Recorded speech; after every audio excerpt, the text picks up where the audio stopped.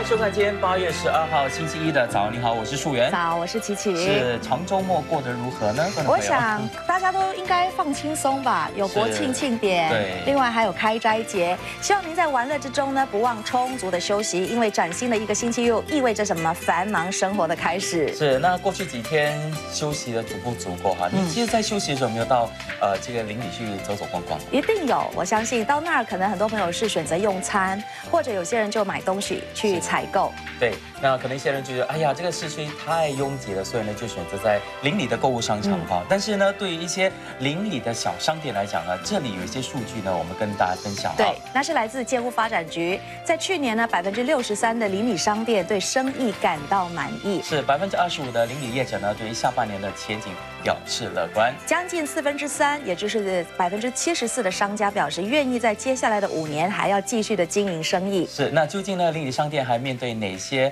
些大环境的挑战呢？如何保持竞争力？别错过稍后的城市大家说。我们马上来关注今天的第一段新闻内容。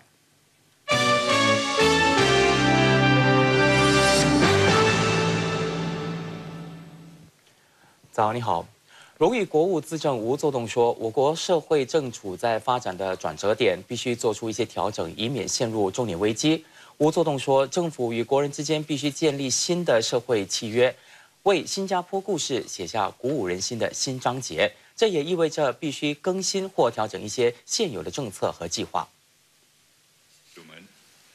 吴思正傍晚出席马林百列集选区国庆晚宴时说：“比起李光耀和他自己，李显龙总理和他的内阁团队在治理国家上更为辛苦。这是因为现在的外部环境更为复杂，国内挑战也更艰巨。” Some policies and programs that served us well in the past. Need updating or maybe even an overhaul to ensure that they continue to serve their intended purposes. A new social compact between the people and the government will also have to be forged. Otherwise, I fear that Singapore will begin to go downhill. 吴作栋说，政府正努力取得包容性增长，确保国人有好的就业机会。政府也承诺为国人提供更负担得起的祖屋和医疗服务。他还表示，政府在制定方案时，除了要考虑实质效果，也要赢得民心。展望未来，我希望看到国家领导人和人民之间能有更强的情感联系，单单只是。凭理性还不足以凝聚民心，我们必须情理并用。不过，吴作栋也表示，希望国人能了解政府在治国时所面对的局限，并与政府一起克服国家所面对的挑战。外交兼律政部长尚木根说：“我们的新加坡全国对话会非常有效地筛选出政府必须解决的问题。”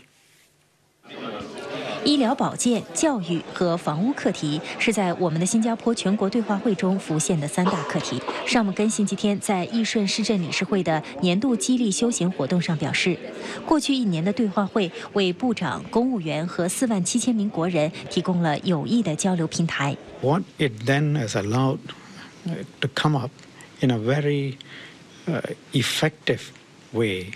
Are their aspirations, their feelings, their expectations, uh, their hopes, desires, uh, the things they are happy about, and what they would like to see in society. 随着住宅区迅速扩大，三八旺和义顺两个市政会今年四月进行了重组。尚木根表示，成立个别市政会可以更有效和更集中地为居民服务。不过，维持低成本会是个挑战。我们是希望能够通过更有效的工作方式，啊，来达到呃最好的这个效果。尚木根也表示，居民现在对社区的卫生和设施要求已经相对提高，市政会必须在迎合居民要求的同时，继续维持低费用。获得俄罗斯庇护的前美国情报雇员斯诺登的父亲透露，已经取得前往俄罗斯的旅游签证，并且很快抵达俄罗斯同儿子相聚。斯诺登的父亲朗·斯诺登连同他的律师一起接受美国广播公司的电视专访时，透露将很快到莫斯科同斯诺登见面。 of his life here. Not and We have visas. We have a date uh, which we won't disclose right now because of the But it's imminent? frenzy. Uh, it very soon, and we intend to visit with Edward and suggest uh, criminal defense attorneys who've got experience in Espionage Act prosecutions. 朗斯诺登表示，尽管他非常希望儿子回到美国，但是他对美国的司法制度没有信心。when you consider many of the statements made by our leaders, leaders in Congress, they are absolutely irresponsible and inconsistent with our system of justice. 美国同俄罗斯的关系因为斯诺登而陷入低潮。美国总统奥巴马也取消了原定下个月到莫斯科同俄罗斯总统普京之间的峰会。缅甸西部的若开邦再起宗教冲突，至少七个人受伤，当局立即加强当地保安，并表示情况已经受到控制。受伤的七个人都是罗兴亚回教徒，他们在冲突当中被警方发射的枪火所伤。冲突发生在若开邦的首府什对的一个乡村里。当局表示，冲突是因为有传闻指一名溺毙的男子是被当地的佛教徒所杀害而起。有上百名罗兴亚回教徒洗劫并焚烧了村口附近的一个警察哨站，至少六名回教徒被逮捕。在这同时，收留大部分罗兴亚回教徒的难民营也受到了攻击。当局表示，目前的情局势已经受到控制，他们也已经增派足够的军警支援。去年，若开邦的罗兴亚回教徒和佛教徒之间的冲突，造成了将近两百个人死亡，上万人无家可归。法国南部发生致命车祸，一辆满载旅客的巴士撞破快速公路的围栏，翻落到路坡下，造成了一名法国人和一名西班牙人死亡，大约三十名游客受伤。法国警方表示，这辆由巴士由欧洲巴士公司运营，当时运载了四十四名法国、西班牙和乌克兰的游客，所有伤者都已经被送往附近的医院医院救治，他们的伤势都不严重。目前还不清楚这起车祸的原因。对巴士司机所做的医疗检查也显示，车祸并不涉及酒后驾驶。不过，有乘客表示，他相信车祸是由司机的过错造成的。司机换班的时候迟到，并且同乘客发生争吵，司机甚至不知道乘客要去的地方，还要向乘客打听。这辆巴士原本是要从法国马赛开往西班牙南部的穆尔西亚的。七点三十七分，以上是今早的第一段新闻内容。是，那么呃，我们今天呢有谈股论市，我们来看看这个海指呢，在上个星期三闭市是三千二百二十九点，升五点啊。嗯。稍后分析师来到节目现场会剖析股市的动态。那天气概况如何呢？今天是八月十二号星期一，崭新的一天又开始了。我们来看看气象署预测，从这个时候到中午十二点钟，全岛是多云，气温介于摄氏二十四到三十一度。接着来关注世界的各地的天气预测。我们广告回来之后再见。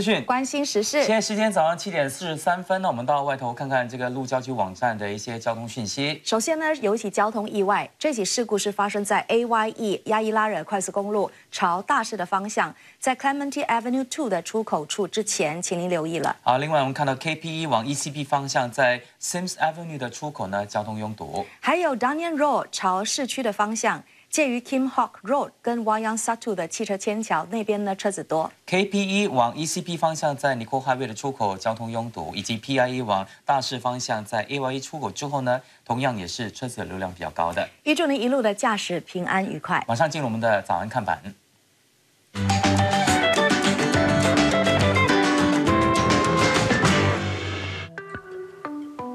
是刚过去的长周末，相信大家也有趁这个机会呢，跟呃家人一起享受天伦之乐啊。这个星期同样有很多精彩的节目跟内容，还有项目，让大家在工作之余呢，忙里偷闲，感染艺术的气息跟是，氛其实。我们还知道说很呃，大概有一两年前吧，这部舞台剧《天天冷冷就会就会来来》对相当的引起大家的这个喜欢哈。是首首动听的歌曲，扣人心弦。当时的音乐指导就是林谢义。是林谢义呢，也是本地著名的男高音，以歌声感动了不少的观众。去年呢，很不幸呢，他与世长辞了。有不少跟他合作过的音乐的朋友，为了纪念他，将在来年的星期五举办纪念林谢义音乐会。是除了有古典歌剧式的演唱舒伯特，还有普契尼等等的作品呢，也会演绎多首这个本地华语音乐剧的这些动听歌曲。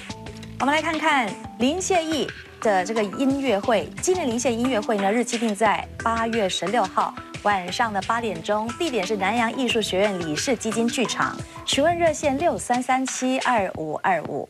好，如果除了这个听歌之外呢，你也希望跟孩子有一些其他的互动方式呢？告诉你这里呢，可以到新加坡集邮馆呢去看看哈、为什么呢？因为这是一场呃结合了嗅觉和视觉的感官之旅。怎么说呢？很特别。这次的展览可以看到以不同香料 （spices） 为题材的珍贵的邮票，同时可以通过这个香料的缘由，让您认识到新加坡的历史。是，如果我看了邮票，就是想继续探索香料的奥妙的话呢，可以随活动的导游到这个福康宁山去这个香料花园，了解更多香料的用途，并且发挥一些创意，制作香料的手工艺品，增进亲子之间的感情哦。嗯，我们来看看香料之旅 （Spice is Nice） 集邮展，八月二十号开始，一直展出到明年的五月，时间是早上七九点到晚上的七点钟，地点就是新加坡集邮博物馆。是，询问热线是六三三七三八八八。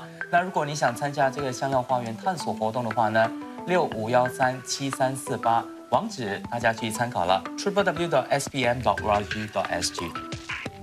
祝您有一个充实愉快的一周。马上进入的是我们的谈股论事。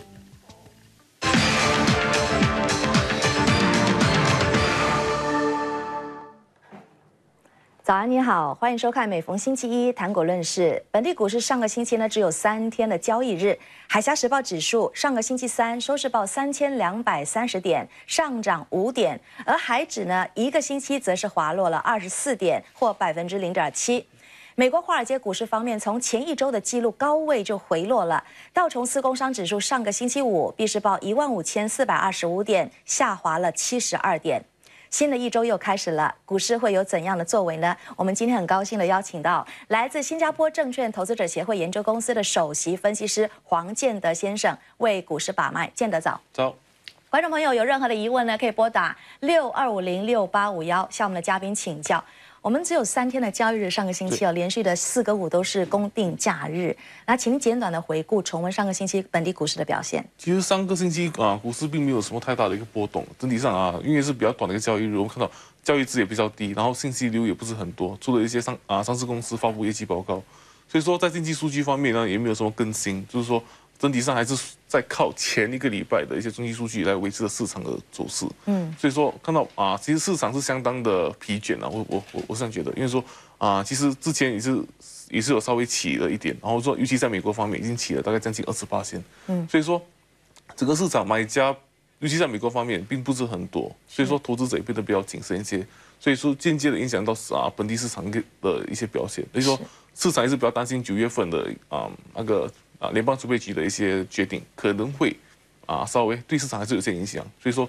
嗯，有些投投机者等等的，也是在趁机来调整他们投资组合，嗯所以看到上上一周其实市场是稍微的下滑一点点。是，如果你回顾看一下，大概两个月前六月中旬的时候呢，海指就出现了反弹了。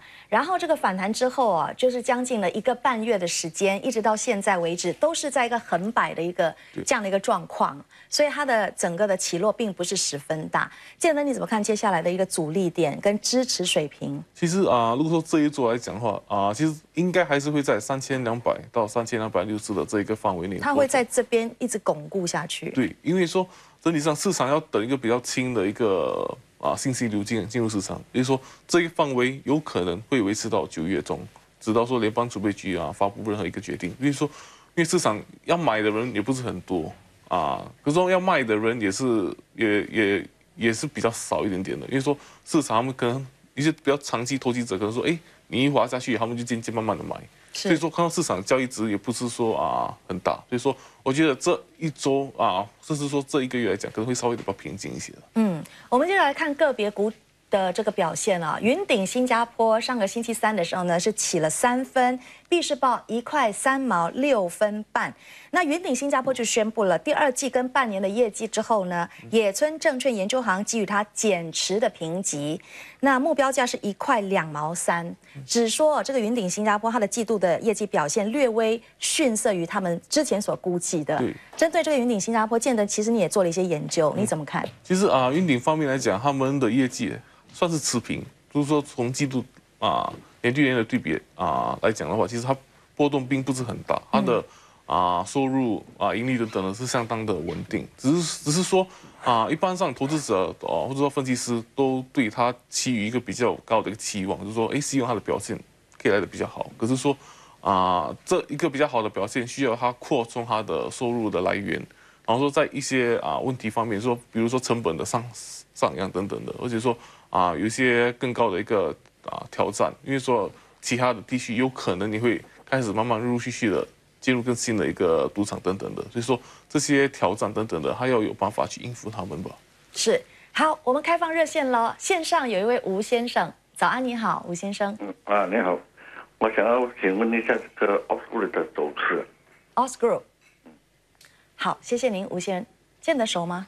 其实啊，稍微是有看一点点吧。可是说啊，这这只股来讲，因为很大部分来讲也是要看啊，它跟石油类的一些关系比较好。可是说它的公司的表现，因为最近是比较啊，我记得前两个季度它表现并不是很好，所以说啊，它股价是稍微的有点啊下滑的一个趋势这样讲。说这里上来讲，我觉得说啊，它的业绩会慢慢的、慢慢的稳定吧。所以说。它的股价应该会啊维持着现有的一个价位，然后可能有一点上升的一个趋势出现，是因为毕竟油价还是处啊处于一个比较好的一个状态。嗯，我们接下来看另外一只股票啊，这家公司 Wilma，也就是丰益国际，上个星期三呢起一分，闭市的时候是报三块一毛六。最近呢，这个丰益国际它就出了一个业绩报告，出了之后，辉利证券投资研究公司给予它一个增持。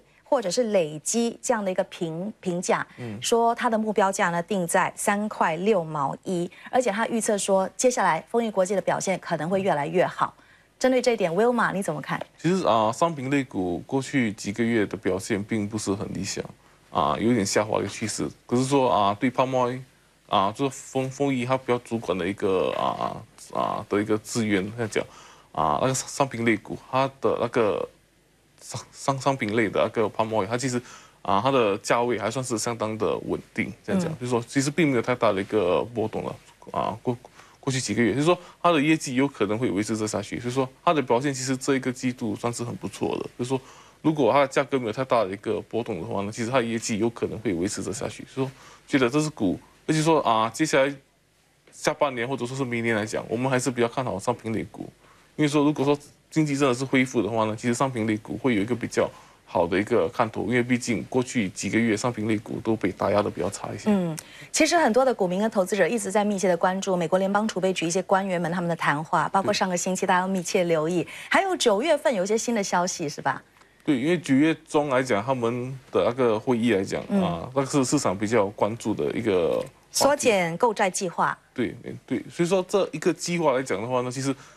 市场在准备着了，我们也注意到说，比如说从债券来讲，其实债券我们看到很多资金流开始慢慢啊，就是说啊，一些持有债券的人开始慢慢的卖出他们手头上的债券的，所以说这一些资金流，他们就开始慢慢退出债券市场，是去要准备去别的市场，或者说准备等市场下滑的时候，他们才慢慢的间接的进入股股票市场。所以说整体上来讲，市场是稍微在目前为止到九月中，应该是在一个调调整的一个期间吧。是等它调整好了，我们才会看到市场慢慢的恢复上去。好。今天谈国论事单元，我们高兴邀请到黄建德先生来到节目中，为股市把脉，也回答了观众您的询问。谢谢建德。不客气。那我国的贸工部将在稍后八点十分左右公布我国第二季的经济报告数字。稍后呢，我们将再次的邀请建德呢前来为我们现场的剖析这些数字背后的缘由。稍后见。那诚实大家说，今天我们要谈什么呢？谈的是建屋发展局最近的调查显示了，去年表示有意要续约的邻里业者比率下降到五年来新低。邻里商家如何创新转型发展，保持竞争力呢？稍后会来一起讨论。如果。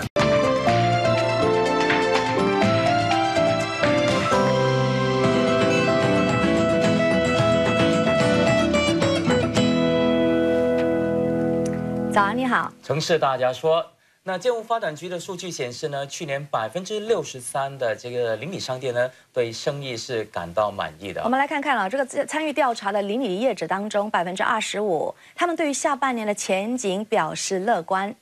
是，另外呢，呃，我们也看到，就是接下来五年呢，会继续做生意的商家，却从二零一一年的百分之八十二下跌到。去年的百分之七十四啊，这可以说是过去五年来的新低。是好，那么对于这样的调查呢，邻里商店的这些商家有什么话要说？他们究竟面对什么挑战呢？我们请到三位嘉宾来跟我们分享。首先，很高兴的邀请到来自新加坡全国商联总会会长杨向明会长，杨先早。你好。那第二位嘉宾是零售市场行销顾问陈培芬小姐，你好，你好，以及邻里商店业者徐婉琴，婉琴呢在大巴窑区售卖冰淇淋一年半的时间，早安，三位，你好，早安三位，好，杨先跟我们说一下吧，对于这样的一个调查报告，那我们呃是不是可以分享一些商家究竟在邻里经营的时候面对什么样的一些挑战呢？呃，主要的挑战就是在于这个经。这经营成本的增加了，嗯哦，嗯，另外一方面就是大家知道这一两年这个地产方面呢是非常的火热，嗯，所以无形无形中呢带动这个租金租金高昂，嗯，另外一方面就是人口老化，然后就是直接到影响到就是呃就是工人比较难请，嗯，还有我们新加坡这个外劳紧缩的这方面的一些问题，包括另外一方面就是新营的坚挺呢变成很多呃本地啊。啊，消费者他们喜喜欢到外国去消费，去外国旅游这方面，所以种种方面的压力都挺是蛮大的。那那陈小姐作为一个邻里市场销售顾问的话，商家有没有跟你反映？出了刚才呃杨先生提到一些问题，呃，大多数的反应都是讲成本呃上涨了。嗯嗯。那么我们也时常跟他们呃交换意见，就讲说呃开源节流可能是一个他们要想的，就是怎么样呃开阔更多的这些。他把他的业绩和他的利润稍微的的提高。嗯嗯嗯。那从事比如说卖冰淇淋来讲，大巴窑这个区也蛮大，人很多的。一年多的时间，你观察到什么呢？呃，其实我觉得大巴窑许多人认为是比较老化的一个主屋啊 estate。不过现在呃，其实呃蛮多新的呃家庭呃都已经搬进这个主屋区，呃而且又有新的公寓，所以你会看到其实。他蛮呃蛮朝气蓬勃的，嗯，呃，可能许多人就认为，呃，这个地点都是做早上生意，因为去试巴沙啊，可能去咖啡店，嗯，可是其实想一想，我们的创意不叫不不不不是创新的，是创创意，就是我们也是经营咖啡馆，啊，文化的雪糕店，而且我们就会呃从十二点。就是我们不是七点早上开，我们就十二点中午开到晚上十点十一点，其实就是有这个不同的需求。人家下班后其实就想啊去吃杯雪糕或喝杯咖啡，所以就是也有带动这些晚上其实也是有生意的。哎，提提提到说在邻里经营这个生意哈，我想问一下陈小姐，呃，有没有说？一些所谓的成熟的祖屋区，跟一些呃比较年轻的祖屋区，他们的商店的这个呃呃商家哈，在呃形式上，在呃所经营的生意上有很大的一个区别呢？会不会？有，就是在一些比较呃呃这个成熟的的族区的话，你就看到它的居民的那个组合比较不一样。对，所以那些商店的呃行业可能就比较配合这些呃居民的的需要，需求对吧？嗯，对。所以像一些年轻，我讲一些年轻人，如果他们创业，呃，一些新点子，如果把它放在一个成熟的一个祖祖屋区的邻里环境，杨先你你会觉得会不会可能会格格不入，或者它可以带来一些新的呃新意？呃，其实，其实就是讲年轻人，如果是到了成熟的主屋区，就是创业方面，我就觉得这个是好消息。嗯，其实他们能够带动，呃，就是一股比较呃有生气蓬勃的一个一个行业进去。例如刚才我们听到这个许小姐，她把一个就是比较呃冷门的生意，就是冰淇淋商店的这个生意呢，带入一个成熟的主屋区。嗯，其实也挺。让那那边的居民，也其是年呃年纪长的居民，他们也感到很惊奇，而且他们也很喜欢嗯，然后中午以后就开档了。哎，所以商联会在这方面，你会应对到不同他们的需求跟心声，你们怎么应对？最主要的宗旨跟角色是什么？呃，商联会的组织通常是就是联络大商家们啊，促进这个感情啦。另外一方面就是讲 把它建立成一个桥梁，嗯，就是能够把这些主人组合在一起。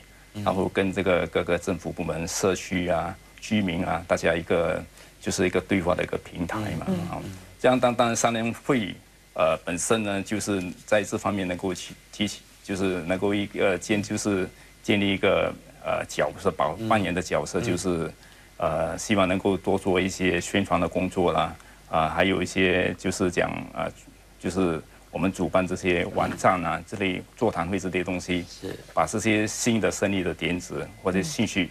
团队给我们商家们是，我知道商联会的网站呢，还有设立一个免费的商家网站，对不对？我们来看一下它的网址啊，triple w dot f m a s dot o r g dot s g。上了你们的这个网站会看到什么呢？其他商家他们的一些消息。这个三联总会的这个网站其实是一个非常大型的网站。嗯，三联总会本身之下呢，就很多这个各个地方的三联会成为我们的会员。可是他们三联会之下呢，还有很多这些。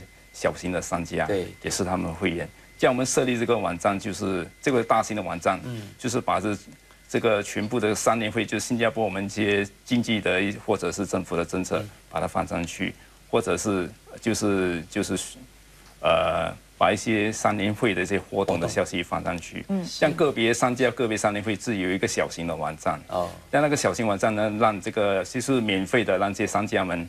能够自己在上面创一个小型的网站，不错，对，然后把这个信息传达出去嘛。好，观众朋友，如果你自己本身呢是喜欢逛邻里商店啊，又或者说你逛邻里商店有些怎么样不一样的体验的话呢，欢迎拨电话跟我们一起来分享啊。嗯，那我们说到这个提供商家这样的一个网站一个便利哈，去查询更多的这个相关资讯。那我知道说，其实建物局也也提供一些呃计划，说呃让商家可以呃买下这个呃邻里商店。的一一些计划，或者注入他们如果要呃，比如翻新啊，或者引进一些新科技，都有这类的呃津贴存在，是吗，陈小姐？嗯，对，呃，这个呃，不单单是建物发展局鼓励这个呃邻里主办活动注入福利，那么很多政府机构也在各方面有一些援助配套，那么帮这些小商家提升他们的业务。是。所以就希望呢，能够借此呢，比如说他们要买些自动化的一些机器啊，对，他们就在呃，可以在呃营运上面帮他们提升，嗯嗯，那么也可以呃培训他们在呃怎么样教导怎么样啊，提高他的服务素质啦，还是怎样做行销促销这些，对。那在邻里商店经营，比如说看啊很多不同的一些餐饮，我们都会看到，对不对？对。冰淇淋我也有，我知道那边也有不止一家。嗯。你会觉得说，在邻里商店经营生意来讲，它的劣势跟优势在哪里？嗯，我觉得优势就在于啊，它有一个带给呃观众一个新的。感受新的体验，嗯，就是其实我们就是把呃一个嗯比较年轻化的咖啡店带入这个呃区域，然后当然我们自己本身有呃生意自己的呃特点，就是我们就会自制呃我们的雪糕。然后我们也非常支持本地品牌，啊，比如说我们的咖啡豆和我们的茶都是本地品牌，而且都是非常优质的，呃，就是产呃产品。嗯嗯。然后我们也会呃带动一些和本地创意人士的呃活动，就好像如果你打入我们的雪糕店或咖啡馆，啊，就是有一个咖啡馆的文化，非常悠闲，非常舒服。啊，感感觉是非常好的。哎，可是，一般的消费者，我在想哈，如果是年纪比较大的，比如说，啊，我到隔壁的咖啡店喝一杯咖啡才九毛钱，那去你的咖啡馆要给他三四块钱喝一杯咖啡，感觉对对对，会吗？不同的体验，对，或者呃，分享一下吧，有没有这样的一些反应？当然有，尤其是我们刚开店的那那一年啊，非常。不过我们非常感谢很多。啊，阿公阿妈他们真的是有过来 啊买雪糕，对对对，改变的这种想法。他们当然还是找，我还是喜欢喝咖啡店的咖啡哦，因为那咖啡豆是完全不一样的，一个是啊 robusta bean，一个是 arabica bean。不过我们不是说这是好的咖啡或这是不好的咖啡，这是不同的咖啡，不同的不同的体验。所以啊，其实非常温馨。有时候你看周末会有三啊三代人，嗯，就是好像我会带我的孩子和我爸爸妈妈过来。你不喜欢吃雪糕没关系，你可以喝杯茶或者吃一个 waffle 这样。所以大家就在一起，就是过那那一段时光。你你你知道我我我发现说这样的一些三代同来一起去咖啡馆也好，去餐馆吃东西，很多时候其实因为它有一种情情啊，感情在那边，包括就是说。呃，在邻里购物可能多了一些人情味，不跟你进入霸级商场，你付钱就付钱了，没有什么了，对不对？这样的一个情对消费形式，就是在这个邻，这就是其实就是邻里中心最大的优势，就是一个很浓的人情味在那边。不过呃，邻里中心其实有另外一个很大的优势，就是它提供方便，方便给呃这些我们的消费者。就是你不需要呃整装出门，你就很可以随心随意的，就是可以到那边去穿的就下楼。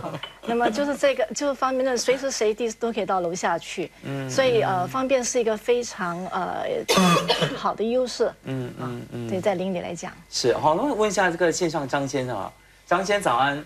哎，大家早。哎，你觉得在邻里商店你有什么感受呢？在邻里商店，其实我感受到就是说刚才谈过一些，就是大家的那个有那个互动。然后我也记得，其实，在新加坡一些邻里商店，像我去不多啦，去其他地方，他们都会引进一些比较呃，就是呃适合呃邻里方面的的的的的东西。所以我记得跟其他很多国家相比，其实我们有一个优势，就是我们的邻里商店都是在进入发展期的这个物质那边。所以我觉得政府在这方面，就是应该可以在这方面呃帮助这个邻里商店在政策上面的一些改变，比如说。呃，在租金方面，因为这个是我们可以控制，政府可以控制的。而这样的话呢，就是变成跟这个大邻里商店有这样的不同的那个一些优势，而且帮助我们本地的一些成长。就好像这位刚才那个做雪糕的小姐这样子的话，好，这样的话呢，这样就是可以把那个物价也，我记得可以降低下来。因为现在其实很多方面都是，我记得是在租金方面，跟别的国家相比，我们真的有这个优势在。别的国家他没有像没有像社会发展地这样的方式。好的，谢谢你张先生的这个意见。你们同意吗？对的，对的。啊，杨先补充一下吧。其实主屋区的这个这个零售商店的这个所谓的服务的对象，主要是针对那边的居民嘛。是。为居民就是提供一些呃价廉物美的又方便的一些。呃，消费的一个形式，也是我们新加坡人这个生活的一部分。嗯，大家要知道，在八十八线的新加坡人住居住在主屋区嘛，啊，嗯，这样主屋区的那个商店也有一个扮演另一个社会的角色，就是它能够平衡这个物价之外呢，同时也能够提供这个就业的机会嘛。嗯，所以在社会这方面呢，起出一定的功能。所以我们是觉得，呃，在主屋区是一个特点。其实是一个也有它的优势，当然也有它的劣势。嗯，呃，这几年来所面对的一些主要的竞争，就是来自这些所谓的呃邻里的一些或者是一些大型的冷气的商场。嗯，而是到了商场里面呢，大家可以发觉到就是千篇一律嘛。嗯，在主屋区零售店呢，你可以发发现到有很多传统的或者一个比较新潮的一些行业。嗯，所以在这方面呢，它是多样化的。嗯，所以我觉得这方面。我们新加坡政府应该好好保留这一块这一块文化。嗯，其实我我想在在邻里商店购物的经验或体验，大概就是一个感觉。嗯，我觉得舒服。大家说。比如说是老顾客的话，他跟这个老板已经是从上上世纪已经 呃买东西买到这个年代了，所以他的孩子也跟着一起到同样的商店。我想这这是一个传统的运营模式，但如何要在这个呃现代化的这个社会要继续保持竞争力，我想呃商店本身要做一些功课，比方说创意的点子，或者是橱窗的设计啊、外观啊等等，顾问可以给一些建议。嗯，因为现在呃。邻里商店好多，就是你的你的这个形象定位要比较鲜明一点，对啊，这样子你才可以吸引到过客，就是经过你的店的的客人注意到你。嗯，那么呃过后就是在你的店里的那些产品的包装啊摆设，也要稍微放一点心思在上面。那么那些过客才会进到你的店里去看看，他们就被变成逛客，在你的店里逛一逛。嗯，当逛了过后，他们觉得你的产品他们需要，他们就跟你买。那他这样才会成为你的顾客，嗯，对不对？成为你的顾客以后呢，你就必须知道，在你的品牌上面可能要做不时做一些宣传，这些顾客才会记得你，这样他以后就是你的回头客。婉晴在开店的这一年半中有做到这几点吗？希望都做得好。呃，当然，其实呃，如果你呃来看一下我们的电视。蛮突出的，就是做的挺呃挺简单，不过舒适。然后其实有一些顾客他们讲起初还以为我们是灯饰公司呢，就是晚上只看到几个几盏灯这样的，而且外面就是非常非常干净的感觉。呃，而且我们就是气氛对我们来讲是非常重要，所以我们的呃呃 crew，我们的员工都是。啊，在那边居住的居民都是都是很熟了，对。不对？对，其实他们非常有亲切感，嗯嗯，所以他们还会讲，哎，老板，我想在这边呃举行我二十一岁的 birthday party，可以吗？所以就是觉得很很亲热，然后呃，而且我们就是尽量啊，三个呃 partners 都会在那个 cafe 和呃顾客交流，其实就是不一样的感觉。的确哈，我相信呢。邻里商店呢，肯定也有自己很多创业的点子，大家也可以，如果要分享的话，或想跟其他的这个邻里商店一起来商讨，怎么样在这个环境呢，呃，能够增加自己的这个营业的话呢，我们这里提供了一个讲座，是来临的星期四，八月十五号，你可以参与的是小点子大收获邻里零售座谈会，时间是下午两点钟到傍晚的五点。地点是 Topayo HDB，也就是大巴窑建屋发展局中心礼堂。电话是六七四幺四六七零六七四幺四六七零。那网址就是刚才提到的 triple w f m e s o r g s g。还有这个免费的工作坊呢，是在十一点钟到一点钟的。那大家呢，如果想参与这个呃工作坊的话，哎，我们来送奖给你。我们要送票了。我们通过这早安的 Facebook。来输入这个通关密语。今天的通关密语是小点子空格大收获。我们会送出这个三对的入门票，提供给您这个十一点钟一点钟的免费工作坊啊。嗯，希望大家踊跃的上我们的 Facebook。如果对在邻里购物一些经验呢要分享的话，哎，可以上 Facebook 去上载你们一些照片。Triple w dot facebook dot com slash good morning Singapore。城市大家说，我们谢谢三位嘉宾来到节目现场，分享了迷你商店，加油！怎么样去创新发掘新的商机？谢谢，谢谢。好，贸工部呃刚在八点钟公布了我国今年第二季的经济报告呢，数据显示我国今年第二季经济按年增长百分之三点八。稍后呢，分析师王建德会继续给我们现场分析这份报告。稍后见。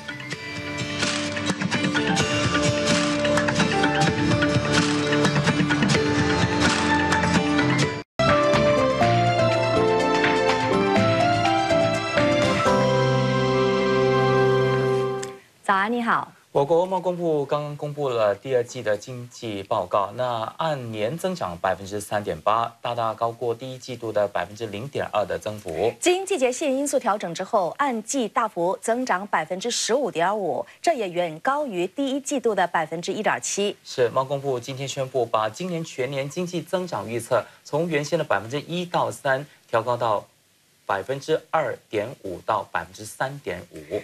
贸工部表示，第二季经济加速发展，主要受到了制造业、批发与零售贸易、运输和仓储以及金融与保险业强劲增长的带动。在生物制药和电子业增长的拉动下，第二季制造业按年取得了百分之零点二的增长，扭转了第一季百分之六点七的跌幅。那第二季的建筑业也按年增长了百分之五点一，批发与零售贸易按年增长了百分之五点六。金融与保险业在第一季按年扩张百分之十点六的基础上，第二季继续取得百分之十三点一的增长。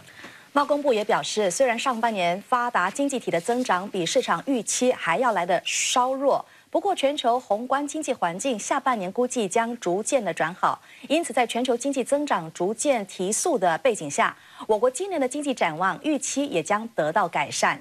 以出口为导向的行业，如制造业和运输与仓储业，有可能给经济增长带来支持。考虑到利好因素以及所面临的风险，贸工部预测，我国今年经济将可取得百分之二点五到百分之三点五的增长。好，那么我们今天呢，也马上邀请我们的这个分析师呢，黄建德给我们进行这份报告一些分析。建德早，建德早。我们刚刚看到了这个数字哦，第二季的经济报告呢，尤其是按年，那是百分之三点八，这是大大的高于上一季的零点二。另外呢，季对季环比则是十五点五，这几个数字是不是在你的预料之中？其实它比大部分分析师的那个数字还来的稍微高一些啊。我会啊，怎么这么说呢？因为其实他他他的数据啊，其实大部分分析师目前来讲是比较保守一些的，因为说，毕竟过去几个季度的表现并不是来得很好。嗯。可是说他的数据这一轮来的比较高，也有可能因为是因为之前去年第二季度他的数据没有那么高，所以说他是以一个比较低的一个 base 来讲，所以说今年的增长可以看可以来的可以。这这一轮季度可以看到一个三点八八线的一个增幅吧。嗯，那如果是以这个第二季跟呃第一季的这个表现来讲的话，那是不是有一些特别的情况说促成说第二季，啊，我国第二季呢表现比第一季来的出色？其实以一个比较宏观的一个角度来看，我们可以看到很多经济体他们的那个表现来的变变得比较好。比如说美国方面，我们看到因为经济啊变得比较好的一个趋向呢，看到他们就是啊要啊削减 QE 的一个政政策。日本方面，我们也看到它的股市也变也变得比较强劲，而且说因为啊，他们当当地一些比较宽松的一些政策，也带动了日本经济体的一个发展。然后说在中国方面呢，我们看到它的它还是继续的增增长着，只是说增长的速度可能比一些人预测还比较低，可是毕竟还是增长。嗯就说整体上来讲，一些比较大的一个经济体，他们的啊数据都来的比较强劲，所以说。我不会说这一轮的一个业绩啊，或者说这这一轮的数据来比较特特别的奇怪，甚至来讲说，它可能可以说是在预料之内。因为毕竟，如果我们啊包容的之前那些数据的话呢，其实这一轮的数据体啊，其实也是反映着很多经济体的一个比较好一个趋向的一个。所以很大程度是受这个，比如说美国方面的表现跟这个亚洲的一些区域的表现呃带动之下呢，我国季第二季也比较表现的比较理想，对不对？是。好，这份经济报告同时也记录了个别领域他们的表现。我们首先谈谈制造业，制造业呢包含了电子业以及生物医药业。第二季呢，制造业我们看到啊，按年取得了百分之零点二的增长。不过呢，如果你看一看啊，第一季的表现呢，它是负百分之六点七，也就是六点七百分比的跌幅。所以可以说它是有所提升的。原因是什么？其实啊，第一季度我我会说它个环境会比较有一点挑战性。可是第二季度来讲，我们看到就是第一点是汇率的一个改变，因为毕竟过去几个季度新元一直在升增值，尤其说对于美元。可是第二季度开始有一种扭转的一个局势出现，甚至来讲第三季度可能这个局势会持续着下去。因为新元如果说它对美元的啊涨势没有那么强，甚至说它开始贬值对于美元的话，那其实对制造业来讲呢，整体上会是一个比较好的一个环境。而且说啊，所以说这一个。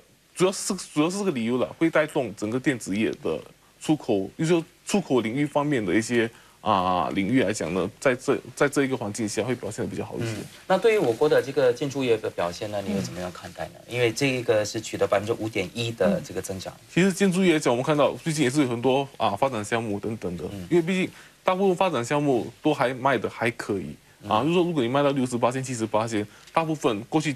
接下来几个月也是会开始慢慢的建筑起来，嗯，所以说在发展业来讲呢，啊，在建筑业来讲的话，其实啊，接下来几个季度，我觉得它业绩会来的数据会来的越越会越来越好，嗯，即使说有一些比较负面的一些领域的一些新闻，比如说啊，而且啊，沃格莱比等等的，可是说这些，因为这些项目已经大部分已经卖出去了，所以说他们的建筑给进行者，所以说对我来讲啊，在啊，建筑业来讲，他们接下来几个季度甚至会比目目前的数据来的比较强一些。是。最后我们请建德来看看啊，贸工部他们也做了一些预测，就是今年全年的经济增长预估，本来呢是预估百分之一到三的，现在他们上调了百分之二点五到百分之三点五。您的看法是什么？这是一个蛮大的大的一个差别哈。对，因为说他们是包，因为之前一到三八线可能说是一也有几个原因，因为说。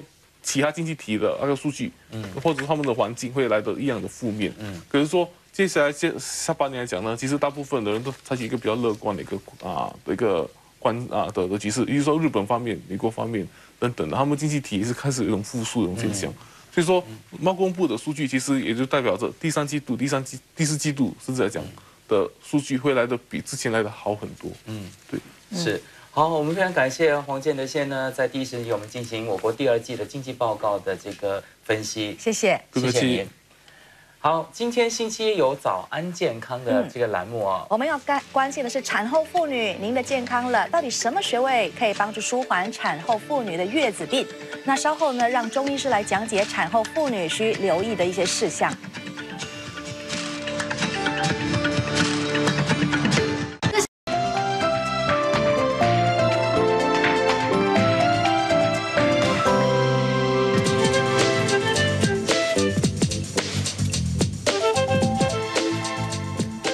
你好，欢迎收看《早安健康》。上个星期呢，我们谈到了产后妇女在坐月子的期间必须注意的一些事项。是，那么说什么月子做得不好，有可能会得月子病啊？到底什么是月子病呢？我们一起来听听中医师他怎么说。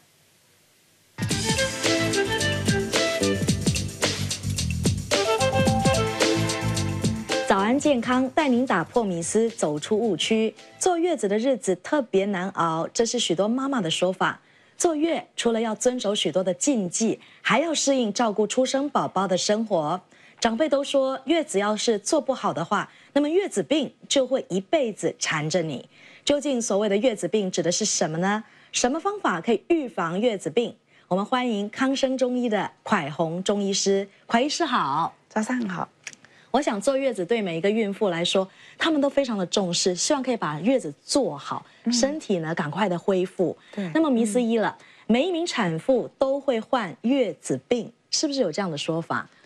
啊，什么是月子病啊？就是说，是因为在坐月子期间啊，呃，特别容易受到风气、寒气还有湿气，啊，出现一些关节方面的呃疼痛，或者是腰酸背痛，或者是。手脚麻木、疼痛。啊，那么这些的话呢，就称之为月子病，或者是说在生完孩子之后，那个一直流血、流血不止，导致出现一些失血过多啊。啊，那么这个时候出现一些腹痛啊、腰酸背痛的啊，这个也是叫做月子病。啊，或者是说产后情绪没有调理好，出现一些忧郁、忧思啊、烦躁、失眠。那么这些也是称之为月子病，当然啊，不是每一个产妇都会得月子病的。嗯。如果调养得当的话呢，是应该不会得月子病的。哦，所以呢，这些月子病是有分生理也有分心理的。嗯，那么迷思二了，月子病一定要在月子治吗？一定要在那三十天里面把它调整好吗？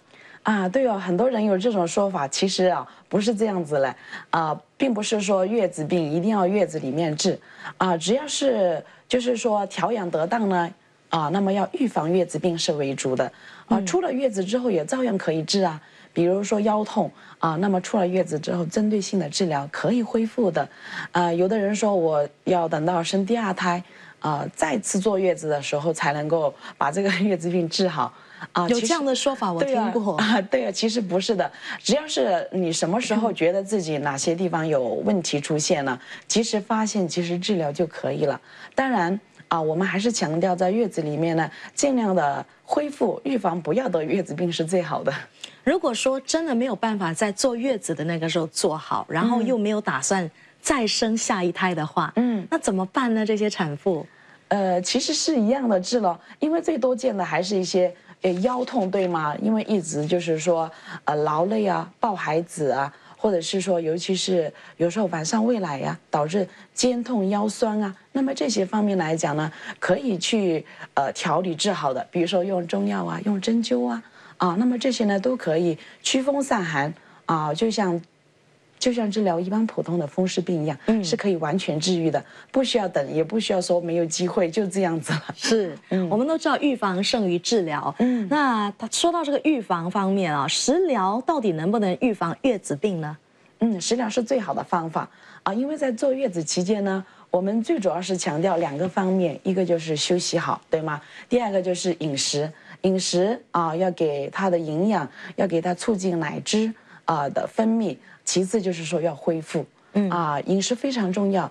呃，饮食在恢复过程当中呢，又以这个增加药材作为最好的方法，所以要多补。嗯，对，我们讲药食同源嘛，啊，那么把一些药材加到我们的饮食汤里面去呢，能够恢复体质，补充那个气血，预防月子病。比如说，要请杨快医师来特别的做一些简单的解这个解说，哪一些月子病？可以搭配哪一些食材？嗯，呃，那么就是说，我们可以，比如说用的最多的，像当归啊，当归啊，一般产后我们说喝生化汤啊，促进那个恶露的排出，去除那个腹痛啊。那么当归是一个最好的啊，月子之后的一个用药。其次就是党参、北芪。党参、北芪这两味药呢是补气的，北芪不但补气，还能够消除的产后那个水肿啊。其次呢，一些腰酸背痛啊、肚重啊，这些都很好啊。那么眼睛方面，枸杞啊用的最多了啊。那么为了预防产后贫血啊，龙眼肉啊、红枣啊这一类也是用的非常多。还有一个妈妈很爱美，对吗？产后脱发啊，用一些何首乌啊、黑芝麻之类的。啊，所以非常的有效，用很多药材在里面呢，能够起到预防这些月子病的目的。是，刚刚海怀医师说了，也列出了很多的食材。嗯到底以上的这些食材或是药材，在坐月子的哪一段期间饮用是最为适合的？在月子的饮用期间呢，应该根据那个生理的第一周、第二周、第三周、第四周，啊，那么也就是第一周还是不宜太进补了。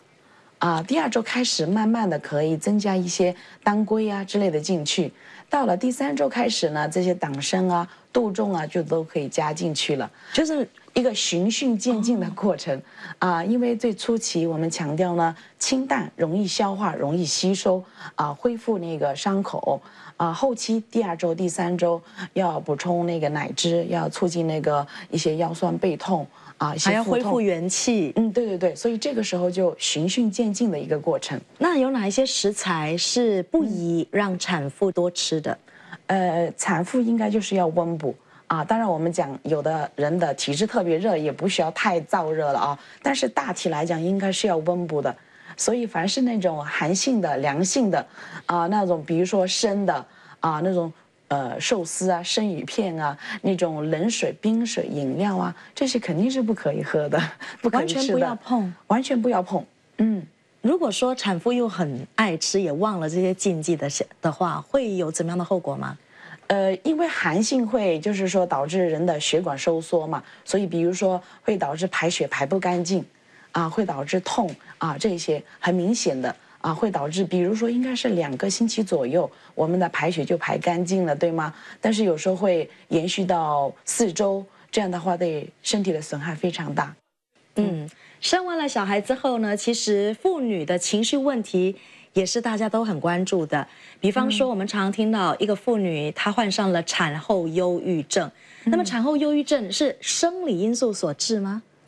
对哦，相当部分是。啊，因为在三天，也就是七十二个小时左右啊，女性的荷尔蒙会突然的降到怀孕之前的正常水平，怀孕线是非常高的，对吗？三天之后的样子就会恢复降到之前的水平。那么这个大的落差会导致身体很难突然调整过来，就会导致那个情绪啊一下子恢复呃不了，那么会出现一些失去控制，可能平常情绪比较。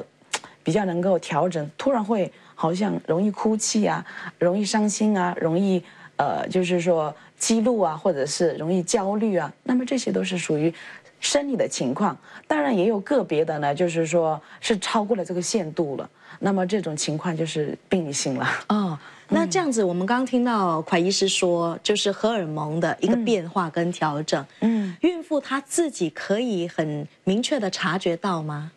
嗯，轻微的其实就不当做好像有自己有问题了啊。有一点点的话呢，自己如果有这方面的知识啊，就会觉得哦，我为什么会情绪好像这么容易哭啊？其实没有什么事情嘛。那这个时候应该要有一个认识啊，我这个可能是荷尔蒙的问题。呃，过几天就自然会调整过来。所以如果你心态能够很放松，那么自然呢，随着荷尔蒙的那个适应过程啊，就很容易。啊，几天之后就慢慢恢复了，这是一个适应的阶段。嗯，家庭成员呢，或是身边的亲人，他们又要扮演怎么样的角色？这个时候当然就是要非常的理解，非常的支持他们了。啊，因为刚刚我们讲除了那些荷尔蒙的问题啊，最主要的就是说还有一个疲劳。啊，因为生孩子晚上要喂奶嘛，又好像没有经验，又很紧张，对吗？假如小孩子又好像还有一点点小小的生病，那就更加的 做父母的最累了啊，所以就会非常的紧张压力，这样的话会加重那个产后忧郁的严重啊。所以如果家人帮助他，让他多休息，让他多安心啊，让他放松，那么这种情况啊，随着荷尔蒙的恢复。就不是那么大的事情了。如果继续恶化，比如说吵架，产产后忧郁就会变成一个很大的问题。嗯，有什么中药的食材在这方面可以调节妇女产后的一个忧郁情绪？嗯，我觉得红枣还有那个龙眼肉非常好，因为红枣龙眼可以做成那种甜品嘛。甜品吃完之后呢，心情很放松，会比较畅快一点。啊，对，睡得很好。还有百合。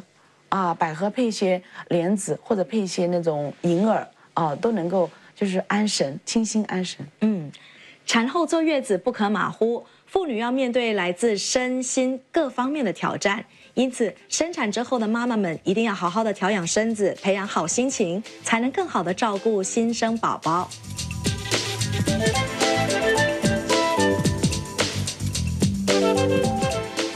又到了我们的早安健康有奖问答游戏的时候了。有看节目有收获，来，首先先记下今天的通关密语。有两关要过哦。今天的通关密语是月子做得好，产后没烦恼。月子做得好，产后没烦恼。中间有一个空格。那现在呢，大家可以上我们早上的 Facebook 去看看，猜猜这张图片答案是什么？它到底是什么啊？好，然后把通关密语连同正确答案输入到图片啊，这张图片下方的留言处呢就可以了。正确答案的。呃，格式必须是通关密语空格图片答案。那最快输入答答案的这个还有通关密语的两位观众朋友，就也可以赢取我们的奖品了。第一位可以获得的是素媛手上的，就是这一套第三系列。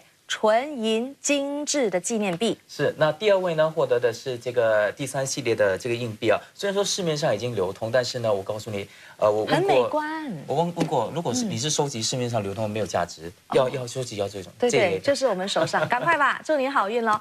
广告回来，我们还有早安健康 DIY，告诉大家哪一些穴位跟食疗可以补中益气、清心安神。好，我们稍后见。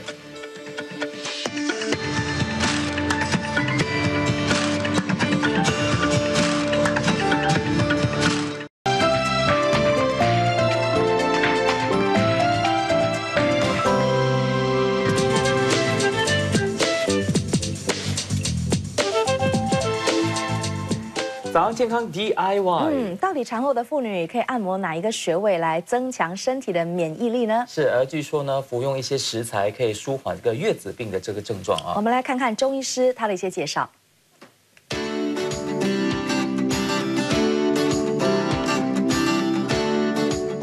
穴位按摩 DIY，今天蒯医师要介绍的是哪一个穴位呢？啊，足三里穴位。足三里穴位到底它确切的位置在哪里？啊，在我们的下肢。首先，我们把我们的那个脚要摆好，出现一个垂直的角度。啊，这样的话呈现出我们的髌盖。啊，髌骨呢这边有两个凹陷。呃，外外侧的外膝眼。啊，这是我们的标记。从这个外膝眼开始往下面三寸，三寸就是四横指。啊，这样的话定到这个四横指在哪里呢？在这里。啊，这是我们的筋骨。啊，筋骨外一指，外一指就是盘开一指，在这个方向。好，找到了足三里穴位的正确位置。那家庭观众要怎么样去按压这个地方呢？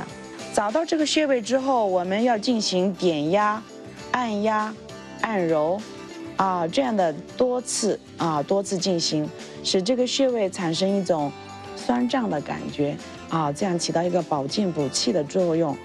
嗯，自己在做的时候可以同时做两侧，左右两侧一起做，或者是做完右侧再做左侧轮流也是可以的啊，起到保健的作用。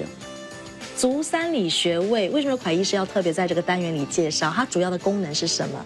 足三里穴位是呃人体一个最重要的补气的穴位，它是人体补益脾胃、补气的穴位，所以能够就是说提高人体的免疫力啊，加强人的正气啊。其次呢，它还能够就是局部啊帮助我们的那个祛风祛湿，强健我们的筋骨、膝盖，有这方面的作用。为什么对产后的妇女特别有？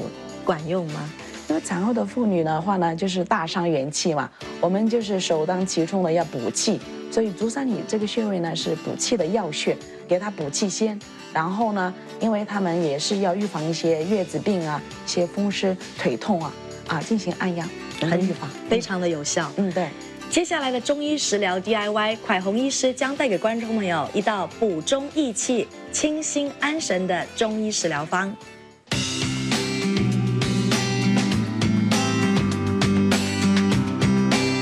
中医食疗 DIY 要您选对食材，吃出健康。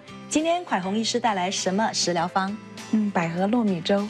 百合糯米粥，我们先来看看食材方面有哪一些呢？啊，食材就是选用百合，还有配糯米，再配一点红糖。嗯，那整个的百合糯米粥制作的过程和步骤又是怎么样的呢？嗯，在准备煮粥之前呢，可以先把这些材料先都泡一下，用水。嗯，放在锅内，嗯，然后再加适量的水浸泡，嗯，之后呢，之后的话，把它们放到一个慢动锅里面啊，给它用那个大火煮滚之后，改成小火，慢慢把它煮烂，煮成粥，煮成粥之后，再把这个糖加到里面去，啊，一个一道非常美味和简单容易做的调味就是加红糖。我们来试试看，这个百合糯米粥，吃在口里，它的这个口感是如何的？嗯，我吃到了这个红糖味哦。其实这个糖方面呢，甜度可以依这个产妇之后她自己的喜好。嗯，对，相当的清爽啊。嗯，我们先来谈谈百合糯米粥主要的功效，针对产后的妇女可以达到什么样的效果？嗯，这道粥的话呢，它是补中益气，呃，养心安神的。因为糯米呢，它是比较补的啊。我们这次选用了糯米，没有选用大米。因为糯米第一个口感比较好，嗯，另外一个它比较补，有时候我们还可以把那个黑糯米，啊，把它加到里面去，或者全部替换了，可能就是说喝几天的这个啊白的这个糯米，也可以换成几天的糯米，因为坐月子期间啊，呃。每天都要进补，但是每天吃同样的东西呢，口感会很腻。所以可以是百合黑糯米粥，也可以百合白糯米，或者是黑白糯米都可以混。对对对，嗯。另外呢，红糖的部分为什么选择红糖？哦，在产后的部分呢，我们还是优先要选用红糖，红糖比较温补。哦，嗯。百合呢，到底百合的作用又是什么？所谓百合嘛，就是比较开心了，啊，所以它是在中药材里面呢，是一味补肺的药，补肺润肺。养心安神的药，所以这个这道粥的话呢，一旦一个是能够补，另外一个是能够调节，使人呢比较情绪比较放松。尤其我们刚刚讲到这个迷思，最后一个迷思就是产后忧郁症。嗯，对。这一道百合糯米粥对产后忧郁的妇女来说，可以起到一定的一个功效吧？对，起到一个能够呃放松精神了、和缓情绪的作用。今日中医食疗方百合糯米粥，食材有。百合六十克，糯米一百克，糖五十克。做法是：将糯米和百合放入锅内，加入适量的水，大火煮滚后，改用文火煮至熟烂，加入糖调味即可食用。希望观众朋友们您会喜欢今天这个蒯医师带来的百合糯米粥。下个星期我们的早安健康继续为您打破迷思，记得锁定我们的节目。谢谢蒯医师，谢谢。好，大家如果想参考这个早安健康的中医食疗方的食谱的话呢，可以上我们的 Facebook 去查询哈，呃，就是 triplew.facebook.com/slash/good morning Singapore。不要错过喽，下个星期的同一时间，今日锁定八频道的早安健康，马上给您带来第二段的新闻内容。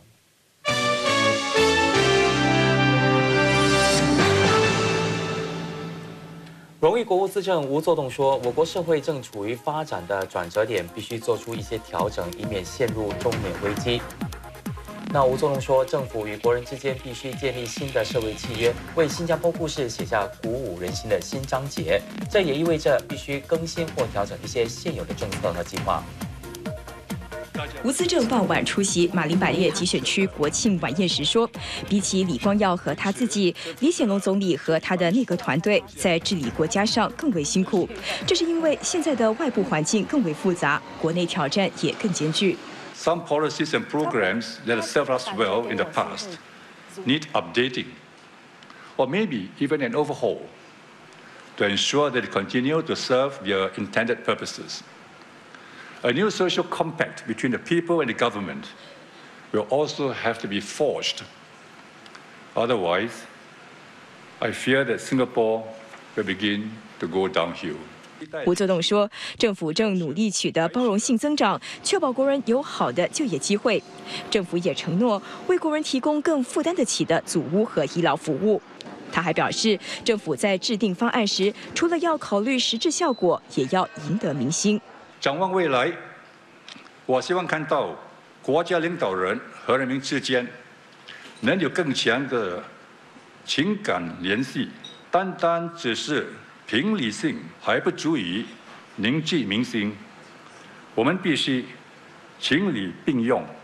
不过，吴作栋也表示，希望国人能了解政府在治国时所面对的局限，并与政府一起克服国家所面对的挑战。国防部长黄永红医生欲请大巴窑中心居民，除非有必要，否则不要轻易的将祖屋卖掉。黄永红指出，这里的祖屋或许可以卖个好价钱，可是，一旦卖屋之后，就很难找到像大巴窑中心那么好的地点和设施的替代祖屋。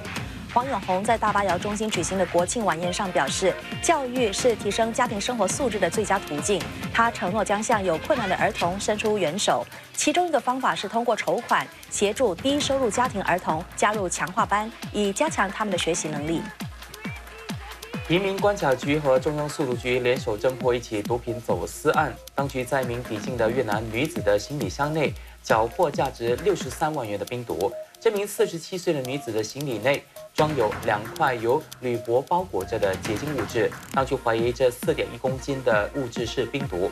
女子目前正接受速毒局的人员的调查，要是罪名成立，女子将面对死刑。初步调查显示，这批冰毒相信是准备再出口，并非供应给本地市场的。国际新闻：伊拉克多个地点发生连环爆炸事件，包括首都巴格达在内的汽车爆炸案，造成至少七十四个人死亡，将近三百个人受伤。遭攻击的包括市场、繁忙购物街和公园，而且有几起爆炸接连在一个小时之内发生。当局不排除是有预谋袭击。至于目前还在开斋节庆期间，很多民众聚集在外活动，因此伤亡的人数较多。伊拉克在进入七月之后，恐怖袭击和暴力事件骤增，单单七月就有一千多个人死亡，是五年以来死亡人数最多的月份。巴基斯坦南部港口城市卡拉奇发生私酿酒中毒事件，至少八个人丧命，另外有六个人留院治疗。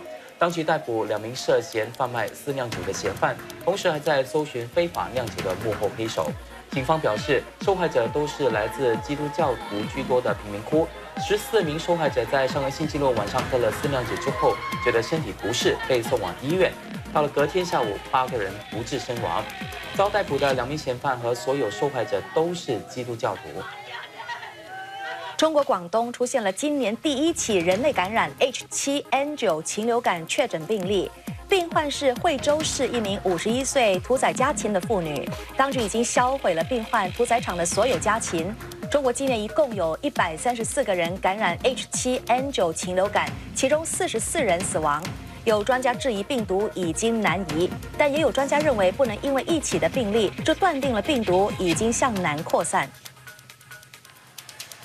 在中国广州举行的世界羽毛球锦标赛，身穿黄色球衣的第三种子泰国球员拉赫查诺，面对世界排名第一的中国好手李雪芮毫不胆怯。